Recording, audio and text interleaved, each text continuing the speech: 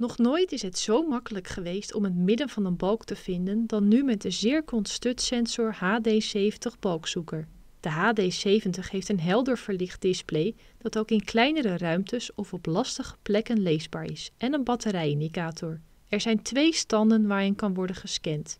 De studscanstand voor het lokaliseren van hoeken van balken tot 19 mm diep en de diepscanstand voor een diepte tot 38 mm.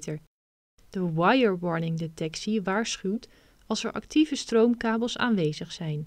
Beweeg het apparaat over de muur. U ziet op het display als u in de buurt komt van een balk of de rand heeft gevonden. Spotlight pointer gaat branden in het midden van een balk. Met de HD70 weet u precies waar u aan de muur iets stevig en veilig kunt bevestigen. Koop daarom vandaag nog uw HD70 OneStep.